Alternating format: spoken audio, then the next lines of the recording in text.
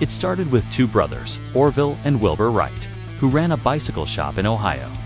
They were fascinated by the idea of human flight, something most people thought was impossible. But they weren't just dreamers. They were methodical engineers who studied how birds flew, twisting their wings to control their movement. They realized that controlling the plane was just as important as getting it off the ground. After years of building and testing gliders in Kitty Hawk, North Carolina, they were finally ready. On December 17, 1903, Orville made the first controlled, sustained flight in a powered aircraft. It only lasted 12 seconds and traveled 120 feet. But in that moment, they changed the world forever. From a bicycle shop to the sky, that's the power of a dream and relentless hard work.